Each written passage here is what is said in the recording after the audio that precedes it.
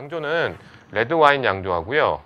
화이트 와인 양조가 조금 어, 방식을 좀 달리 하게 되는데요. 어, 우리나라에서는 조금 구별을 안 해서 하는 경우도 있는데 외국의 경우를 들어서 먼저 말씀드리겠습니다. 우선은 원료가 되는 포도를 수확을 하죠. 재료가 되는 포도를 수확을 하게 되면은 어, 우선 같이 말씀드릴게요.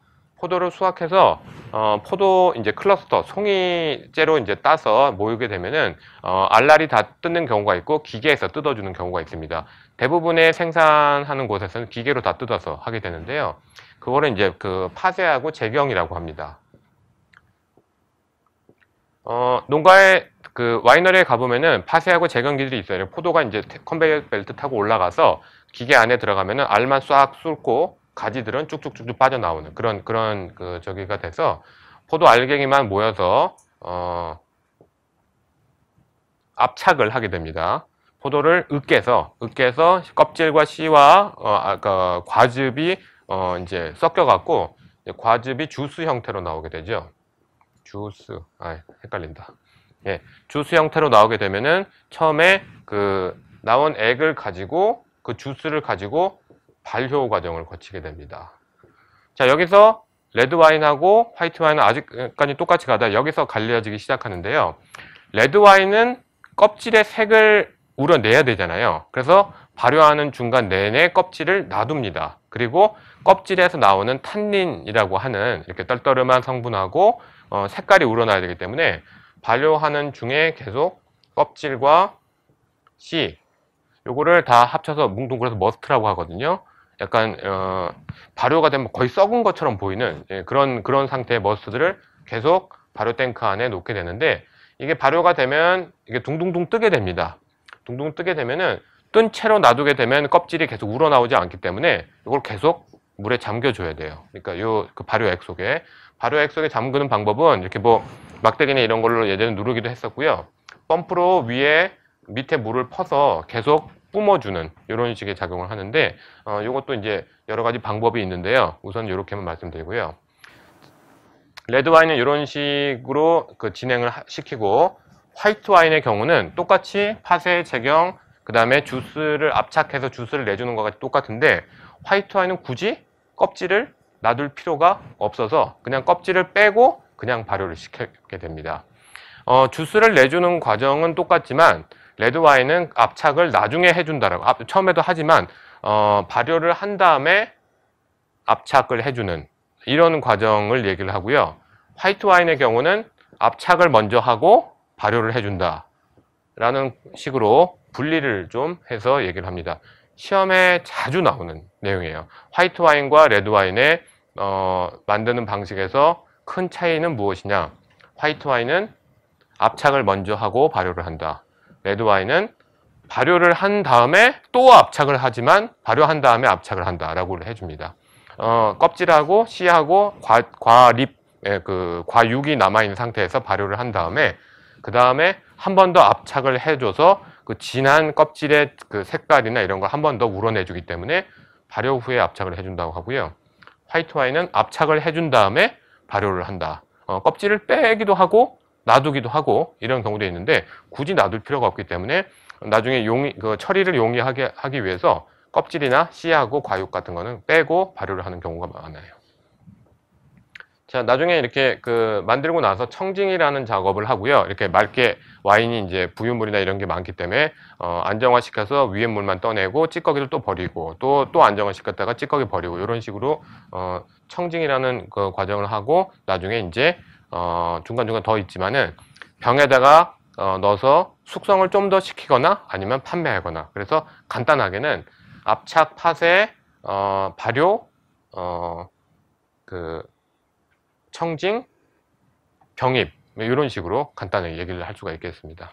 뭐 중간중간에 여러 과정이 더 있어요. 간단히 사진을 보면서 말씀을 드리도록 하겠습니다. 어, 제가 추천했던 영화 혹시들 기억나세요? 그 처음에 영화나 어, 그 중에서 어, 키아누 리브스 나오는 구름 위의 산책이라는 영화 있는데 그 영화는 오늘 지난 다음에 혹시 보실 수 있으면 꼭 보세요. 어, 구할 수가 없다. 그러니까 유튜브 쳐보면 거의 다 나와요. 나오긴 나오고 중요 장면이 이렇게 나오긴 하는데 실제로 그 영화는 좀 로맨스 영화긴 한데요. 여러분들이 보셔야 될 부분은 중간 이후에 어, 포도를 수확하고 어, 멕시코 인근의 그 와인을 만드는 동네의 얘기인데 포도를 수확해서 마을 전체가 축제를 하고 와인을 만드는 과정들이 좀 나오는데 좀 재밌게 볼 수 있는 장면들이 있습니다. 어, 그리고 초반에 초반에도 이제 영화 보시기 전에 다 얘기를 하면 재미가 없기 때문에 말씀을 드리는데 어, 와인 오늘 수업을 들으시고 보시면 아 저거 왜 저러는구나라고 할 수 있을 만한 장면들이 많이 나오는데 어, 실제로 예전에 와인 만들 때는 여러 가지 그 뭐 서리가 내리면 어떻게 해야 되고 뭘 어떻게 하고 이런 부분이 나오는데 좀 보실 수 있는 부분이라서 볼 수 있으면 한번 보, 시는게 좋을 것 같아요. 자 여기가 제, 제가 지금부터 보여드린 사진은 제가 이제까지 와인을 배웠던 한 다섯 분의 스승님한테 다 이렇게 받은 사진들이에요. 제가 직접 찍은 사진은 거의 하나도 없습니다. 어, 다 외국에 그러니까 실제로 가서 찍은 사진들이기 때문에요. 여기가 이제 프랑스의 포도밭인데요. 이, 이게 이제 포도밭 가운데 가끔 이렇게 보면 큰 선풍기 같은 게 달려 있습니다. 요거 용도는 뭐냐면요. 어, 포도에 이제 실제로 이제 봄에 봄이 돼서 꽃이 이제 피기 시작할 때 꽃이 피면 그 꽃이 진 자리에 이제 그 포도 송이들이 그대로 열리게 되는데요. 꽃이 필 때쯤에 무슨 일이 생기냐면 서리가 제일 많이 내려요. 서리가 내려서 꽃을 망가뜨리면은 그 해의 농사는 완전히 망치는 게 되기 때문에 어, 영화에서도 나오는데요. 밤에 막 서리 내린다 이러면은 온 일꾼들이 다 뛰어나와서 포도밭 중간에 불을 지핍니다. 불을 지피고 어떻게 하냐면 불만 있으면 불 주면 따뜻하기 때문에 큰 부채 같은 거 갖고 와서 포도나무 사이로 뜨거운 바람이 들어가도록 계속 붙이는데 어, 영화에서 어떻게 나오냐면요. 팔에다 날개 같은 걸 달고 이렇게 이렇게 예, 멋지게 하는데 실제로는 안 그래요. 막 다급하게 부채질을 해주는 거고요.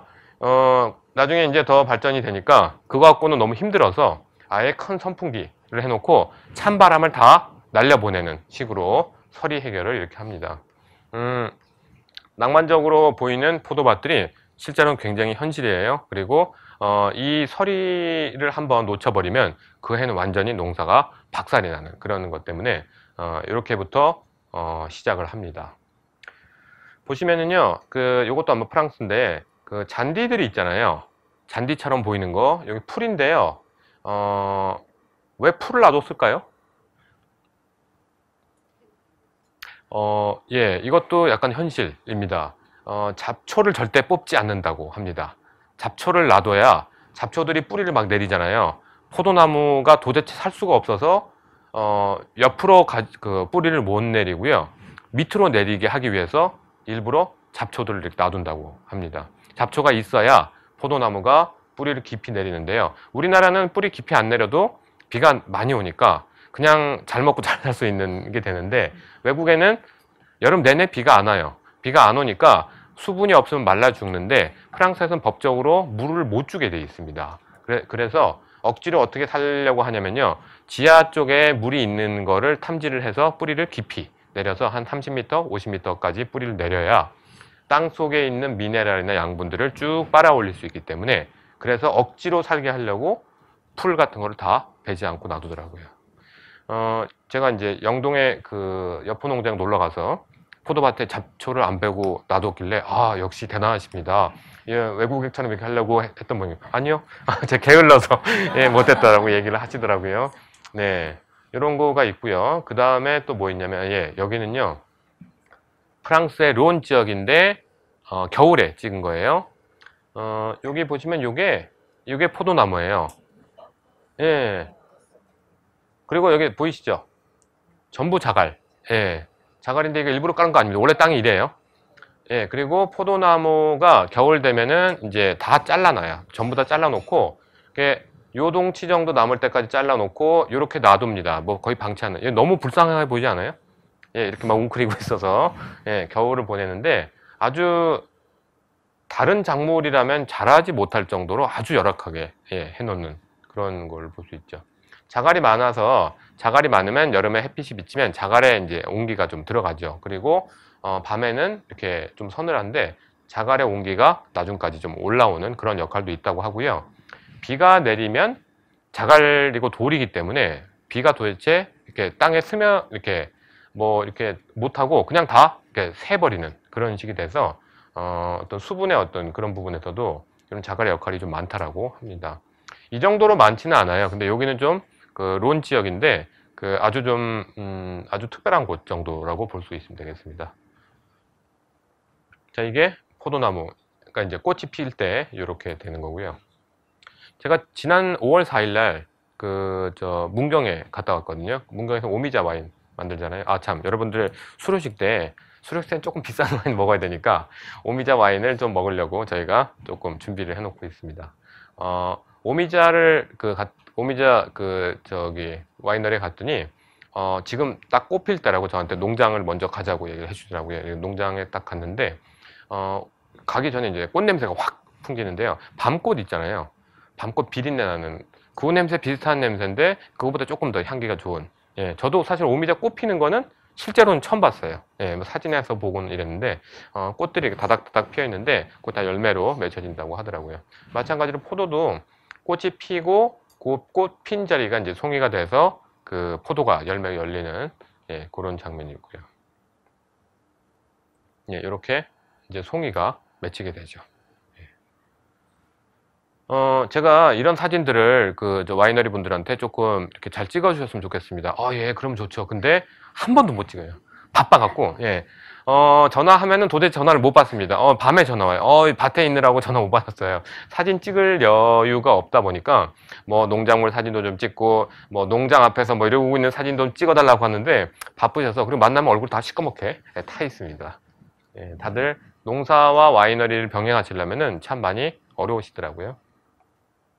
자, 적포도나 청포도나 처음에 열릴 때는 다 요 색깔이 되죠. 요 색부터 시작해서 어, 햇빛을 많이 받으면 흑포도들은 이제 우리가 흔히 알고 있는 적포도들은 점점 색깔이 들어서 어, 보라색으로 됐다가 이제 점점 진한색, 흑색으로 변하게 되고 청포도는 요, 어, 오히려 약간 그 더 익으면 익을수록 좀 더 맑게 되거나 그런 경우가 있는데요. 우리나라 품종들은 맑게 되지는 않더라고요. 샤르도네 이런 것들은 약간 노란색을 띠고 이파리도 약간 금색으로 변하는 그런 굉장히 보기 좋더라고요. 자, 말씀드린 대로 이렇게 색깔이 이제 들기 시작하죠.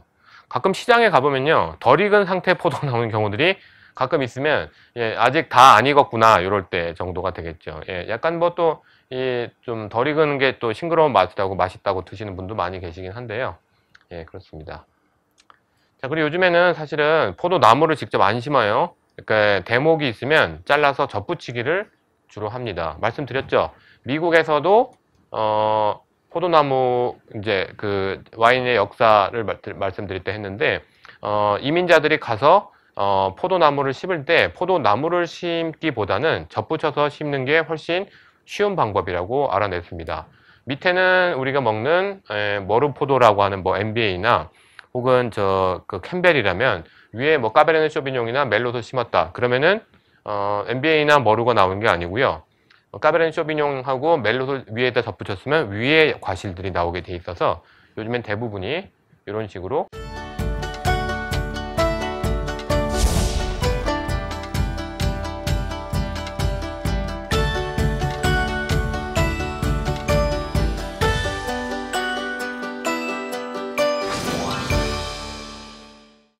예, 접목을 해서 어, 하는 경우가 많다고 합니다. 포도나무를 뽑아내고 새로 심기도 하지만요. 잘라내고 그 위에다 접붙여서 하는 경우도 많다고 하더라고요. 근데 요즘엔 이거보다 좀 더 과학적인 방법을 많이 씁니다. 예, 그 좋은 포도나무가 있으면 이파리를 따서 그걸 수백 장으로 잘라서 찢어낸 다음에 플라스크에서 이렇게 배양을 한대요. 배양을 하면은 그 좋은 그 유전자를 가지고 있는 포도나무를 계속 수백 그루를 만들 수 있기 때문에 이런 식으로 만들어서 어, 과학 실험실처럼 만들어서 그렇게 배양을 하는데요. 미국의 저 뭐 UCLA 뭐 이쪽 UC 데이비스 이쪽이 양조 쪽으로 굉장히 유명한 데라고 하는데 이런 연구들을 많이 한다고 합니다. 가면은 아까 뭐 우리 그 9100 이렇게 이름 붙인 것처럼 어, 포도나무들이나 클론에 따라서 이름도 많이 붙어 있고요. 효모 연구도 굉장히 많이 하고 있기 때문에 양조를 굉장히 과학적으로 연구한다고 하더라고요. 예, 이런 식으로 예. 저희 동굴에도요. 어, 이런 비슷한 거 하나 있어요. 예, 장내삼을 이런 식으로 키우고 있습니다. 자, 이게 이제 아까 보셨던 비슷한 지역의 어, 나무들이에요. 나무 둥치가 좀 굵잖아요. 어, 실제로 한 30년 정도까지 재배를 많이 하고요. 수령 50, 오래된 건 50년 정도 된 것도 있는데 그런 건 특별하게 BAU, BU라고 해서 오래된 나무의 와인이라고 해서 따로 병에다가 VB라고 써놓습니다. 그런 거 보시면 아 오래된 나무에서 나온 어, 와인이구나 맛이 확실히 좀 달라요. 좀 이렇게 또 어떻게 보면은 또 묵직한 느낌, 그러니까 좀 희멀턴한데도 좀 묵직한 느낌이랄까요? 좀 그런 느낌. 어, 노인이지만 되게 옹골찬 느낌의 와인이 생산되는 거 볼 수 있고요. 보통 그럼 좀 비쌉니다. 예, 수량이 오래된 나무에서 따로 뽑아서 와인을 만들었기 때문에 그래도 반드시 BB라고 써 있는 게 있으면 한번 사서 드셔보시면 좋겠습니다. 자, 가지를 이렇게 다 잘라놨죠.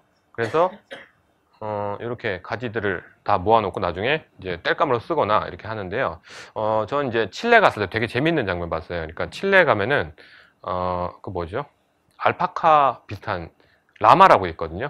모가지 긴 이렇게 좀 기린까지는 아닌데 말처럼 생기기도 했고 그 몬테 예? 아 침뱉나요? 예. 그 몬테스 알파라는 와이너리에 갔더니 걔네들이 밭에 막 돌아다니고 있어요. 쟤들 뭐 하는 거냐 그랬더니 어 가지치기를 걔들이 한대요. 그냥 가지를 이렇게 딱 뜯어 먹고 있기 때문에 사람이 안 가도 걔들이 뜯어 먹기 때문에 괜찮다고 했는데 식당에 딱 갔더니 고기가 나와 있더라고요. 그래서 이거 그 고기냐 그랬더니 아 그건 아니라고 얘기를 해줬는데 재밌었어요 굉장히 사람이 다 이렇게 가지치기를 해주고 새순이 나오도록 이렇게 해줍니다. 예, 아까 사진이 요, 요 나무가 요 나무예요. 그러면 이제 가지가 나와서 예, 하게 되죠. 아 거꾸로네요. 요, 요 가지를 예, 쳐준 거네요. 예, 이렇게 네, 이렇게 쳐줬습니다. 자, 아까 병충해가 가끔 나오긴 했는데요. 포도나무는 그렇게 병충해에 약합니다. 굉장히 그 이 벌레도 먹고 저 벌레도 먹고 이래서 실제로 병충해가 굉장히 많은 작물이고요. 실제 그 프랑스를 위시한 유럽에서 어, 필록세라 사건이라는 게 있었어요. 필록세라라고 하는 그 약간 진딧물 비슷한 요거는 아닌데요. 어, 나무 뿌리를 갉아 먹어서 어, 포도나무가 다 괴사하는 사건이 있었는데 그때는 잘 몰랐다 보니까 왜 죽지라고 하고 땅 파볼 생각을 못했어요. 그래서 완전히 서유럽의 포도나무들이 다 괴멸되는 사건이 벌어졌습니다. 지금 그 있는 포도나무들은 옛날부터 있던 그 포도나무들이 아니에요. 다 죽고 나서 어떻게 했냐면 칠레나 신세계에 있는 와인들을 가지고 와서 어, 뿌리는 그 미국 그 나무의 뿌리를 쓰고 그 가지를 가지고 접붙여 갖고 다 새롭게 만든 포도나무들이 어, 그 지금 서유럽에 있는 포도나무들이고요. 어, 이, 이 벌레들이 이 필록세라는 벌레들이 산맥까지는 못 넘어가서 스페인 정도는 좀 살아남았다라는 얘기를 합니다. 그리고 완전히 다 박살이 났다라고 하는데 다시 재건을 해서 어, 와인 나오기까지 좀 오래 걸렸죠. 자, 이것도 병충해 중에 하나인데요. 그 포도가 이제 망가, 졌잖아 예, 예. 요게 이제 곰팡이들이 포도나무에 구멍을, 포도 알맹이에 구멍을 뚫어서 어, 이렇게 구멍을 딱 뚫어 놓고 수분이 다 달아나게 만들어 버리기 때문에 어, Botrytis cinerea라고 하는데요. 곰팡이 일종입니다. 그러면은 포도가 이렇게 망가지게 되죠. 어, 이 포도를 버리느냐? 그렇지 않습니다. 어, 서유럽 사람들이 이 곰팡이 먹은 포도가 아주 독특한 향취가 나는 걸 발견하고 이 망가진 포도만 따로 긁어 모아서 즙을 내서 와인을 만들었는데 그게 그렇게 맛있어 갖고 그런 거를 귀하게 부패됐다 해서 귀부 와인이라고 합니다. 예. Botrytis cinerea라는 이 곰팡이 먹은 예, 예, 그쵸. 어, 그 곰팡이가 주로 그 습지대 쪽에서 많이 생기기 때문에 강이 있으면 강이 꺾어지는 곳 정도 물길이 바뀌는 쪽에서 안개가 많이 피게 되는데 안개가 많이 피는 지역에서 이 곰팡이가 많이 생긴대요. 그래서 안개가 많이 피는 어, 그런 쪽에서는 일부러 이런 와인을 만들기 위해서 곰팡이 먹은 포도를 이렇게 놔뒀다가 나중에 따로 모아서 와인을 만듭니다. 망가졌기 때문에 수분이 거의 없어요. 당분만 뚝뚝뚝 떨어지는데 아이스 와인하고 비슷하죠. 당분이 뚝뚝 떨어진 걸 가지고 와인을 만들었더니 알코올도 높고 향, 산미도 높고 향취도 좋은 아주 단 와인이 나옵니다. 어, 이런 와인 중에서 굉장히 유명한 와인이요. 샤또 디겜이라는 와인인데요. 어, 보르도에서 나오는 제가 말씀 한번 드렸는데 37만 8천 원에 팔고 있어서 제가 살려고 그랬다가 집사님한테 한 소리 먹고 집에 가서 제가 47만 8천 원에 팔 수 있는데 왜 그랬냐 이랬더니 오히려 또 욕 먹었다고 말씀드렸죠 네네, 예. 어, 이렇게 썩은 포도를 가지고 만드는 와인이 굉장히 유명한 와인들이 많아요. 특히 헝가리에, 어, 토카이라는 와인이 있는데요. 그 이 토카이라는 와인도 이렇게 곰팡이 먹고 썩은 포도를 모아서 와인을 만드는데, 어, 이런 것만 가지고 와인을 만들면 사실 너무 양이 적게 되기 때문에 일부러, 어, 청포도 같은 그, 저, 즙을 더 섞기도 하고 하는데 얼만큼 섞었느냐에 따라서 또 명칭이 또 달라지고 이런 부분도 있습니다. 공부를 많이 하시게 되면 그런 부분도 알게 되는데 어, 그런 와인이 있다는 것 정도만 알아주시면 좋을 것 같아요. 되게 달아요. 되게 단데 산미도 되게 좋기 때문에 너무 달아서 못 먹겠다라는 얘기가 안 나오고 그냥 홀짝홀짝 계속 마시게 되는 이상한 매력이 있는 와인이라고 할 수 있습니다. 대신 많이 비쌉니다. 자, 그리고 보통은 이제 아까 기계도 얘기하셨는데요. 어, 요즘에는 이제 그 유기농이나 이런 부분에 대해서 많이 다시 또 그 조명이 되기 때문에 사람 손이나 가축을 써서 이렇게 어, 농경을 하는 부분을 아직도 추구하고 있는 데가 많고요. 특히 독일 같은 경우는 어, 이렇게 강가의 계곡을 깎아서 와이너리를 많이 만들었기 때문에 기계가 도대체 접근을 할 수가 없고 오로지 사람이 해야 되는 그런 경우도 많이 있다라고 합니다. 어, 요즘에는 이제 유기농을 넘어서요, 자연주의라는 와인도 많이 나오는데요. 자연주의 와인은 어, 조금 이제 미신적으로 가는 것도 있다라고는 하는데, 어, 거의 이제 인공 그를 가미를 안 하기 위해서 철저하게 어떤 자연주의 원칙에 따라서 만들기 때문에 와인이 좀 뿌옇게 청증이 잘 안 된 그런 와인도 많이 나오는데 오히려 그런 와인이 요즘에 유행이라고 하는 부분은 좀 돌고 도는 것 같아요. 아 여기가 독일입니다. 예, 여기 이제 아마 모젤 강가인데요. 이제 요거는 경사가 좀 덜한데 더 깎아지른 듯이 잘 돼 있어요. 그래서 어 이쪽에는 도대체 이제 기계가 다닐 수도 없고 말이 다니기도 너무 험하기 때문에 사람들이 들어가서 어, 포도를 재배하고 한다고 합니다. 자, 요거는 유럽이 아니에요. 유럽에서는 물을 줄 수가 없습니다. 아마 미국 사진인 것 같아요. 미국에서는 이렇게 관계를 할 수가 있는데 어, 프랑스를 위시한 유럽에서는 물을 따로 주는 게 금지가 돼 있어요. 어, 프랑스의 뭐 샹파누 정도만 따로 이제 물을 줄 수가 있고 나머지 지역엔 물을 주는 게 다 법적으로 금지되어 있습니다. 어, 법적으로 금지되어 있는데 그렇게 만들면 어떡하느냐? 어, 만들 수는 있어요. 만들 수 있는데 등급 자체가 되게 낮은 와인이 되게 됩니다. 예, 뭐, 물을 주게 되면 아까 그 저 우리나라처럼 과즙이 너무 많게 되고요. 어, 당분이 훨씬 떨어지거나 어떤 포도 알맹이 자체의 영양분보다는 어, 수분이 많이 들어가기 때문에 일부러 물을 안 준다고 합니다.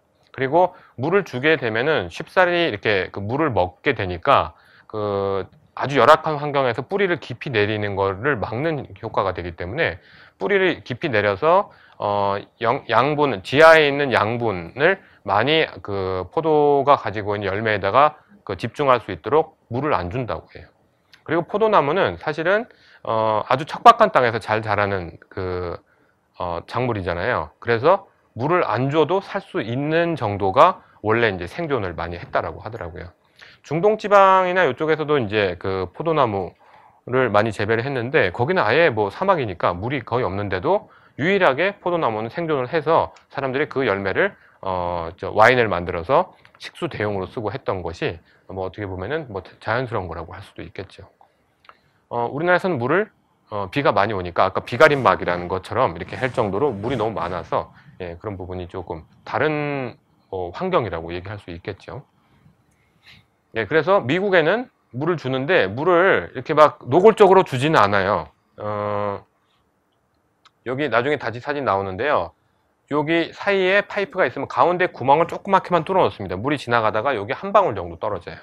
예, 나무에다 직접 안 주고요. 옆에 떨어지면 이쪽에 있는 수분을 어떻게든 빨아 먹으라고 이렇게 할 정도로 좀 잔인하게 주는 편인데 그래도 그나마 예, 주, 주는 게 다행이죠. 그 와이너리에 보면요 장미가 좀 많이 심어져 있어요. 그 포도나무 앞에 어, 이유가 뭘까요? 장미가 보기 좋아서 예, 장미 향도 그렇고요. 장미가 어, 병충해 제일 약한 예, 그 식물 중에 하나래요. 그래서 만약에 전염병이 돌거나 뭔가 벌레가 생길 것 같으면 장미가 먼저 죽어 있습니다. 그러면은 아 뭔가 좀 이상이 있구나 하고 그때 그 주의를 기울일 수 있기 때문에 포도밭 옆에다 장미를 좀 많이 심어 놓는다고 합니다. 어떻게 보면 바로메터라고 할 수 있겠죠. 예. 장미 저도 옛날에 그 마당에 있는 집에 살 때 장미를 보면 맨날 벌레들이 장미 갉아먹고 있고 진딧물 잔뜩 있고 이랬던 걸로 기억을 해요. 어 그래서요 그 저기 무당벌레 있잖아요. 무당벌레가 익충이라고 뭐 얘기를 많이 하잖아요. 벌레를 자꾸 잡아먹으니까. 예. 그래서 어 외국에서는 사실 그, 그, 무당벌레가 ladybug라고 해서 굉장히 어떻게 보면 좀, 어, 이렇게 좋은 대우를 받는 그런 걸로 돼 있던 것 같아요. 예. 자, 요거는, 어, 일부러 수확을 늦게 해서요. 포도나무를, 에, 포도, 아, 송이를 이렇게 그 바짝 마르게, 어, 하는 건데요. 요게 마찬가지로 수분이 날아가면요. 당도가 훨씬 높아지기 때문에, 어, 일부러 이렇게 만드는 그 방식들을 많이 쓰는데 이렇게 나무에 놔둔 상태에서 말리는 건 늦수확 이거나 late harvest 혹은 어, 좀 더 이렇게 많이 말리게 되면은 어, 아이스 와인으로 갈 정도까지 눈이 오거나 이렇게 얼게 되면 그렇게 될 정도까지 당분을 높이는 방법으로 많이 씁니다. 외국의 포도들은 당분이 많이 있는데도 불구하고 이렇게 만들면 엄청나게 달면서도 알코올은 또 빵빵한 그런 와인이 나오게 되는데요. 우리나라는 당분이 그렇게 높지 않다 보니까 이렇게 만들어야 외국의 와인 수준 정도가 나오는 정도의 어, 알코올이나 당분이 나온다고 할 수 있습니다. 요거를요, 어, 이태리에서는 어, 포도를 수확한 다음에 지푸라기 위에다 말리는 방식으로 어, 말려서 쓰는 경우도 있는데요. 파시토 뭐 방식이라고 이렇게 얘기해요. 약간 포도가 바랜 듯한 맛이 나는 와인도 생기는데요. 그런 걸 아주 맛있게 먹는 사람들이 이태리 사람 중에 한 사람, 이태리 사람들이 그렇게 먹습니다. 예, 아까 나왔던 사진이죠. 망가진 포도를 가지고 또 와인을 만드는. 예. 아, 예. 아까 그 관계하는 게 그 이거였어요. 여기다가 물 한 방울씩 딱 떨어뜨려 갖고 예. 요 정도 갖고 먹고 살아라. 뭐 이렇게 정도 하는 그런 사진이 되겠습니다. 자, 이게 이제 많이 열린 건데 이렇게 많이 안 열려요, 원래. 예. 이렇게 많이 안 놔둡니다. 여기 하나, 저기 하나, 저쪽에 하나 요 정도로 듬성듬성하게 하는데요. 많이 열었네요. 예. 어, 혹시 무슨 포도인지 아시겠어요? 예, 무슨 포도인지 아시면 여러분은 거의 신의 단계에 들어섰다고 할 수 있겠죠. 예, 알이 좀 큰 걸로 보이죠? 예, 장, 그 지난 시간에 말씀드렸을 때 Cabernet Sauvignon은 알이 좀 작고 Merlot 조금 더 크고 어, Pinot Noir 좀 더 크다고 했는데 그냥 봐서는 그냥 Merlot나 그러니까 Cabernet Sauvignon 정도로 보이긴 합니다. 예, 근데 이제 그 송이의 모양에 따라서 또 다르다고 하는데 저도 거기까지는 구별 못 하겠네요. 자, 이제 수학 때가 되면요. 어, 유럽에서 사람들이 굉장히 알바 천국이라고 합니다. 포도 수확을 하는 게 돈을 많이 준대요. 돈을 많이 주기도 하고, 어, 저희 한국 사람들도 많이 가요. 알바하러 많이 가는데, 어, 가끔 통화를 합니다. 야, 잘 있냐? 이랬더니, 형, 죽을 것 같아요. 이런 얘기를 하는데, 고기도 많이 주고 와인도 잔뜩 주는데 도대체 먹을 수가 없대. 피곤해서 골아 떨어져야 된다고. 어, 일을 하고 나면은 도대체 이제 그 북한에서 얘기한 것처럼 천삽 뜨거운 보기 뭐 이런 정도로 너무 힘들다라고 얘기를 하고요. 어, 너무 고되기 때문에 어, 예, 예, 힘들다 얘기를 하더라고요. 마, 많이 준대요. 뭐 실제로 많이 주는데 쓰지도 못하고 다 들고 왔다고 하더라고요. 그리고 딱 왔더니 너 누구니 할 정도로 얼굴 새까맣게 타 있어요. 예. 어 그거 하고 충분히 남는다고 하더라고요. 그래서 때때마다 가는데 갈 때마다 죽으려고 하더라고요. 예, 그래서 어, 온 유럽에서 어, 특히 수확 때가 되면은 점, 정말 일손이 딸리기 때문에 어, 기계로 수확하는 데도 있지만 프랑스나 혹은 이태리나 아주 전통적인 와인을 만드는 곳에서는 어, 이렇게 사람 손으로 수확하는 걸 원칙으로 하기 때문에 이런 식으로 어, 사람들을 많이 써서 어, 밤마다 고기도 많이 주고 뭐 이러긴 한다는데 외국 사람들은 막 즐겁게 논다는데 우리나라 사람들은 그냥 뻗어버린다고 하더라고요. 예. 이거 촬영도 하고 막 노래도 같이 부르는 장면 이런 것도 있는데 되게 재밌게 있더라고요.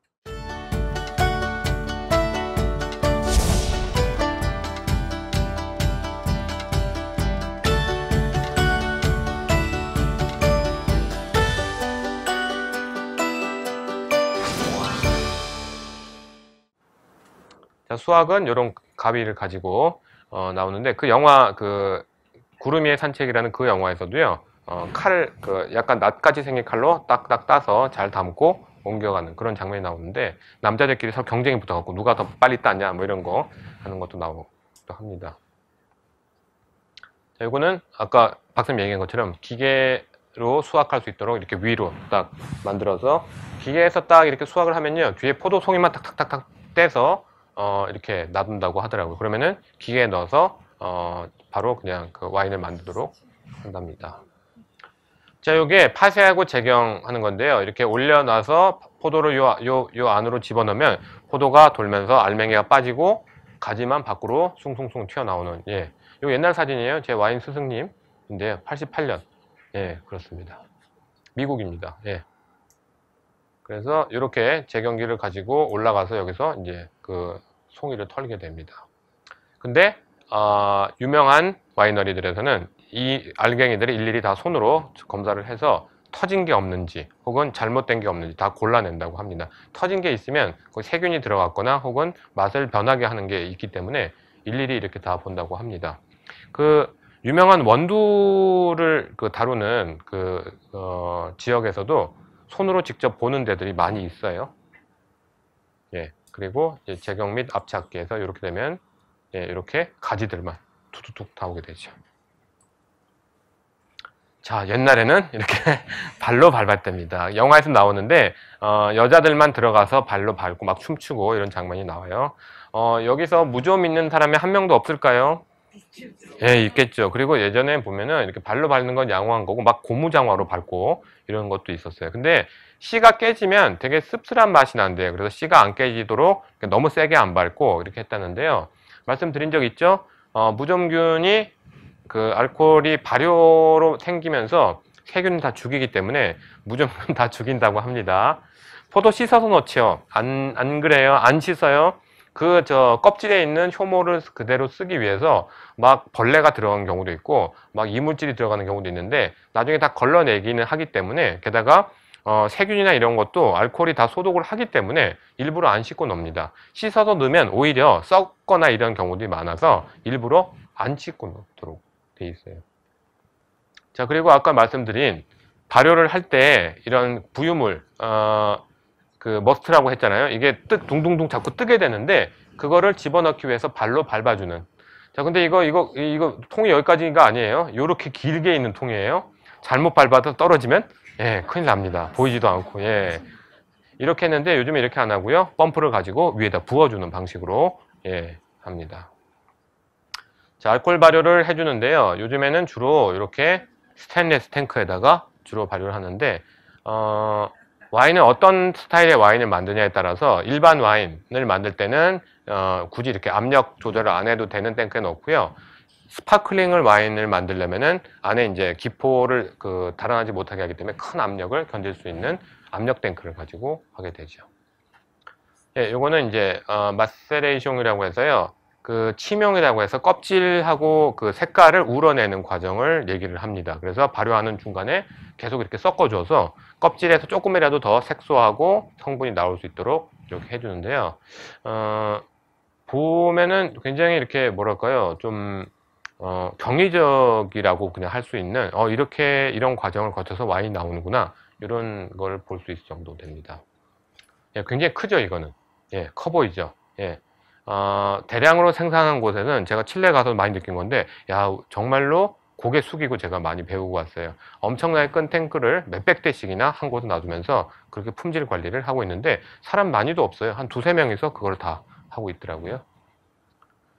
자, 예, 이것도 약간 그 압력 조절이나 온도 조절 방식이 들어가 있는 탱크인데요. 여러분들 그랑코토 가시면 좀 비슷한 탱크가 이렇게 있어요. 그래서 우리나라에서 어, 제일 좀 어떻게 보면 최첨단의 탱크. 예, 빚을 많이 지셨다고 하시더라고요. 예. 예, 그리고 예전의 방식인 그 콘크리트 가지고 발효 탱크를 하는 어, 프랑스의 오래된 곳은 아직도 콘크리트 탱크를 그대로 놔두고 있어요. 거기서 발효를 계속 한다라고 합니다. 어, 오래된 와이너리들은요, 그 집에 효모들이 있대요. 그 오래된 효모들이. 그 효모들이 어, 발효할 때 들어가기 때문에 독특한 맛이 나고 그 와이너리 맛에, 그 만의 맛이 살아있기 때문에 절대로 잘 안 허문다고 하더라고요. 리폼을 하더라도 있는 상태에서 하기 때문에 이런 발효 탱크들을 실제로 잘 없애지 않고 잘 놔두는 경우들이 많습니다. 예, 여기는 신구의 조화라고 할 수 있죠. 이 탱크에다가 스테인레스 탱크 같이 있으니까요.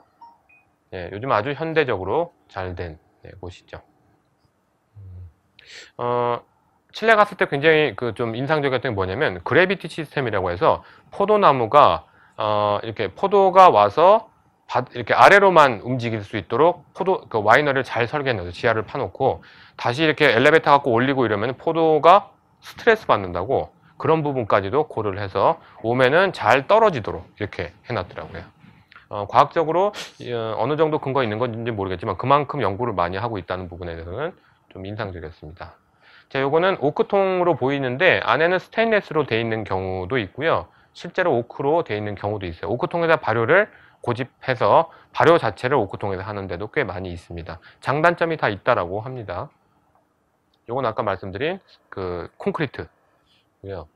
어, 요건 요, 요게 이제 예, 큰 대량 생산하는 어떤 큰 곳이라고 할 수 있겠습니다. 아마 아, 예, 이게 콘크리트 시멘트로 만든 적인데 안에 보면은 이제 이게 어 깨끗해 보진 않죠. 예, 근데 이 와인을 계속 발효하고 그, 아, 세척하고 발효하고 세척하고 이런 식으로 하기 때문에 세척하는 게 가장 힘들다라는 얘기를 하더라고요. 어, 그만큼 또 위생 관리도 해야 되기 때문에. 자, 그리고 오크통에다가 양조를 하는 경우도 있는데 보통 우리가 볼 수 있는 오크통은 225리터 어, 짜리가 대부분인데 그건 숙성용이고요. 요거는 한 4,000리터 정도 되는 큰 통에다가 뭐 사람 키만큼 큰 통에 길이가 굉장히 큰 이태리 같은 곳에서 이렇게 많이 발효를 합니다. 자, 그리고 발효를 하고 나서는 이제 오크통에다가 주로 보관을 하죠. 예, 오크통들이 요- 요런 모양이 제일 많아요. 요 모양이 제일 이 크기가 가장 어, 오크의 어떤 향도 잘 남으면서 숙성을 오랫동안 시킬 수 있는 크기라고 해서 요 오크통 크기를 barrique라고 그냥 얘기를 합니다. 200, 225리터를 barrique라고 얘기를 해요. 어, 좀 이따가 오크통 만드는 방식도 간단히 보여드릴게요. 어, 요거는 이제 제 wine school 같은 데서요. 어, 양조를 이제 실습으로 하는 그런 저 저긴 저걸 본 건데 요거 보시면 포도를 이렇게 으깨 놓은 거예요. 으깨 놓은 상태에서 이렇게 딱 담아 놓으면은 발효가 진행되면서 껍데기가 자꾸 올라가죠. 거의 썩은 것처럼 보이잖아요. 요걸 자꾸 휘저어주고 흔들어주고 이러면은 진액들이 더 나오게 됩니다. 예, 요게 그 휘저어주는 장면이고요. 예, 어, 둥둥 뜬 그 저 머스라고 하는 거를 안으로 넣어주고 다시 이렇게 해주는 방식으로 계속 하고 있고요. 나중에 이게 이제 집 틀에서 나중에 발효가 다 끝나고 나면 그 찌꺼기까지 한꺼번에 해서 다시 한번 짜줍니다.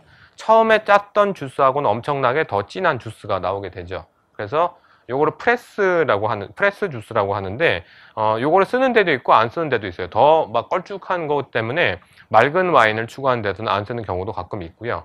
어, 보통은 이제 앞에 나온 주스, 뒤에 나온 주스를 다 섞어서 쓰, 는 경우들이 많습니다.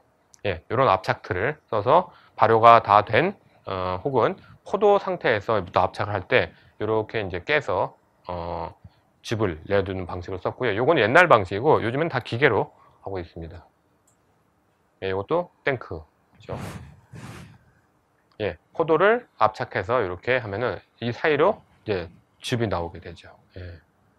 옛날에 발로 밟았다고 했잖아요. 예, 점점 발전하면은 이제 프레스로 눌러주는 방식을 했고요. 자, 아까 그 발효가 된 와인이 이렇게 됩니다. 이렇게 되면은 뭔가 좀 이렇게 탁해 보이죠? 예, 여기다가 아왕산이라고 하는 거를 한 방울 정도 이렇게 딱 떨어뜨리면 이렇게 됩니다.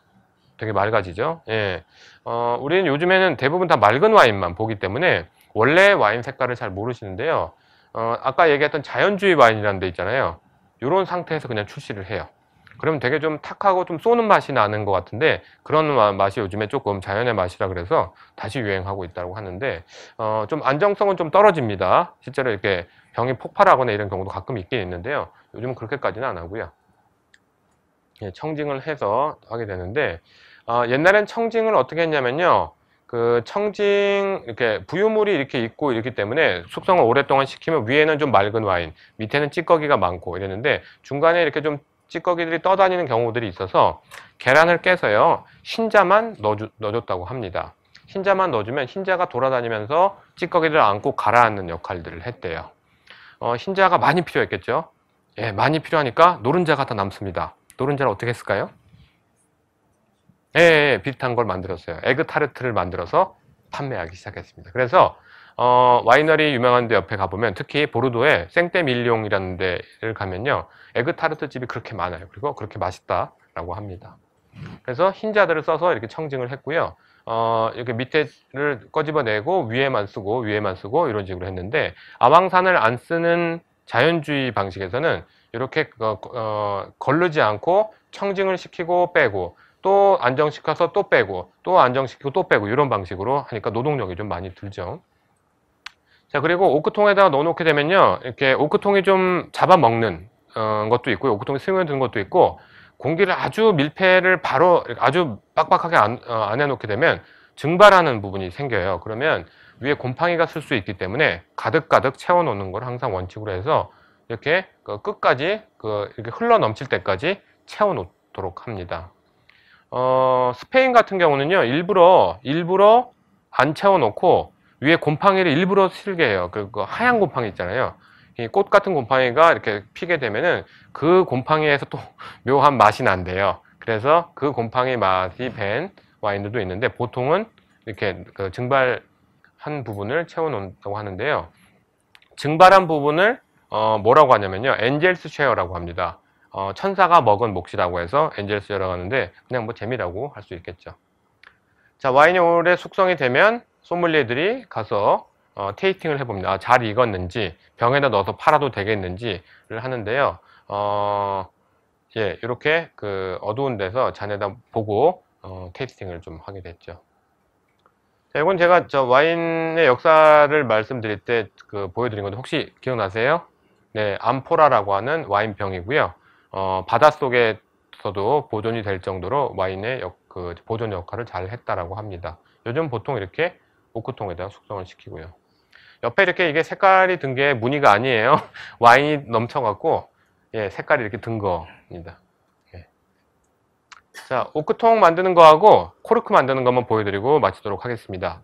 오크통을 만들 때는요, 망치하고 못을 안 씁니다. 그냥 나무의 팽창력에 따라서 어, 잘 악구가 맞도록 만들지 못질을 안 해요. 못질을 하는 거는 여기 리벳, 리벳 그 철로 된 어떤 원통형에다가 고정시키는 정도만 하지 나무에다 직접 뭐그 망치지는 안 해요. 어, 나무 판을 이렇게 잘 잘라서요 통 모양으로 잘 조여준 다음에 안에다 불을 떼서요 불을 떼면 팽창을 하잖아요. 팽창을 해서 이렇게 원통형으로 만들 수 있도록 구워줍니다.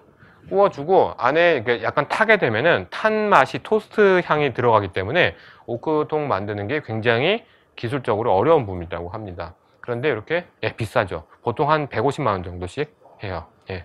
그래서 와인을 그 오크통에다 숙성을 시키면 그 오크통 값이 다 와인 값에 들어가는 정도가 되겠죠. 이렇게 만들어요. 우리나라에도 한 군데에서 만들고 있습니다. 영동 오크통 연구소라는 곳인데요. 예, 그리고 태운 거를 저 식히면서 이렇게 어, 저철 밴드로 조여주면은 아주 틈, 빈틈 없이 딱 오크통이 완성이 되는데 위에 이제 통, 그, 저 뚜껑 비슷하게 어, 쳐놓고 밑에도 쳐놓고 이렇게 되면은 오크통이 만들어지죠. 오크통이 구멍이 하나밖에 없어요. 조그만 구멍 하나밖에 없기 때문에 한 번 쓰고 나거나 혹은 쓰기 전에 반드시 고압수로 세척을 해줍니다. 세척을 해준 다음에 물에 충분히 불렸다가 어, 와인이나 혹은 위스키를 넣어서 예, 숙성을 시키게 되고요. 자, 요거는 참나무 껍질입니다. 코르크를 만드는 재료고요. 어, 껍질이 이렇게 두꺼운 거 정도는 보통 나무의 수령이 30년에서 40년 이상 된 것들을 어, 껍질을 따로 빼서 이렇게 떼내서 어, 코르크를 만들어요. 죄송합니다. 여기 정도까지 되겠네요. 어, 요 코르크 모양으로 된 요, 여기까지를 구멍으로 이렇게 뚫어내면은 코르크 하나가 나오게 되는데요. 여러분들이 실제로 지금 가지고 있는 코르크들은요. 자연 상태의 코르크라기보다는 합성 코르크들이 많아요. 합성 코르크는 이렇게 분쇄를 했다가 다시 만든 코르크. 우리나라 코르크들은 자연 코르크를 쓰는 경우가 잘 없고 왜 비싸기 때문에 이렇게 재생 코르크들을 많이 쓰거나 아니면 어 샤또 무주에서 뽑은 것처럼 고무, 합성 고무를 쓰는 경우도 있습니다. 어, 고무를 쓰면요 압착력은 되게 좋아요. 그러니까 새거나 무슨 저기 할 필요는 없는데 아무래도 빼게 되면 조금 어, 코르크만 못한 것 같은 그런 느낌이 들긴 하죠. 어, 다 기분입니다. 실제로 코르크를 쓰는 곳은 어, 서유럽이나 이런 쪽은 아직도 코르크를 쓰고 있는데 어, 그렇지 않은 곳들 그러니까 신세계라고 얘기하는 뉴질랜드나 뭐 호주나 이런 데서는 코르크를 안 쓰고 주로 screw cap을 쓰고 있어요. 왜냐하면 코르크는 대부분이 다 프랑스나 포르투갈이나 미국에서 다 수입을 해야 되거든요. 안 그래도 경쟁하기 바쁜데 그것까지 수입을 하려면 가격이 더 올라가기 때문에 그 사람들 어떻게 얘기하냐면 나무를 훼손해서 자연을 망가뜨리는 이 나쁜 놈들 이런 식으로 얘기를 합니다. 어, 이건 맞는 말 같은데요. 실제로 이런 데서는 뭐라고 얘기하냐면요. 오히려 스크루캡 만드는데 이산화탄소를 더 쓴다, 만, 만들어낸다. 그래서 오히려 코르크가 훨씬 더 환경 친화적이다. 나무를 죽이는 것도 아니고 1년에 한 번 껍질만 벗겨내는 건데 나무한테 무슨 해가 되느냐라고 얘기를 하고 있어요. 어, 이 말 들으면 이 말이 맞는 것 같고 저 말 들으면 저 말이 맞는 것도 같습니다. 어, 오늘 뭐 양조는 각 간단하게 아주 그 다이어그램식으로 간단히만 말씀드렸어요. 다음 시간에 실습을 하게 되니까요. 어, 아마 여러분들이 뭐 필요한 여러 가지 도구들은 다 준비를 해주셨다고 들었고 몇 명 오시냐고 어, 물어보시더라고요. 그래서 25명인데 한 20명 정도 갈 것 같습니다. 정도 얘기는 해놨습니다. 다음 주에 여기로 오시면 아무도 없어요. 예, 다음 주에는 거기서 보셔야 되는데 어, 교통편이 없는, 없으신 분들은 주변에 좀 얘기해 보시고 그래도 없으신 분들은 잠깐 남아주시면 저하고 같이 약속 정해서 가시면 되겠습니다. 자 오늘 시간 제가 좀 많이 넘겼네요. 어, 시간 좀 오래 어, 넘겼는데요. 예, 그 아, 아까 말씀 처음에 드렸지만, 그, 오늘부터 저희 그 오픈하고 서빙하는 거를 조금 시험을 봤어요. 여러분들이 마지막에 평가받을 때 그 필기만 보는 게 아니라 오픈하고 서빙하는 정도는 배우셨기 때문에 조금 세련되게 하실 수 있는 거를 어, 좀 평가를 계속 매주마다 하도록 하겠습니다. 어, 오픈해서 이걸 세련되게 한다기보다 그냥 자연스럽게 할 수 있을 정도면 되니까요. 너무 부담 갖지 마세요. 이렇게 배우셨는데 너무 어색하게 서빙을 하시거나 오픈을 하시게 되면 그거보다는 조금 더 자연스럽게 실수하셔도 괜찮으니까 자연스럽게 할 수 있는 것 정도를 평가하는 거니까 어, 남들이 하는 거를 평가를 받을 때 잘 봐주시면 그리고 뭐가 틀렸는지만 제가 좀 지적을 해드리면요 다음에 하시는 분은 훨씬 더 잘하실 수 있고요 그 다음에 하시는 분들은 더 잘할 수 있으니까 다 똑같이 보신다라고 생각하시면 되겠습니다. 자 수고 많으셨고요 다음 주에는 그랑꽃도 와이너리에서 뵙겠습니다. 네.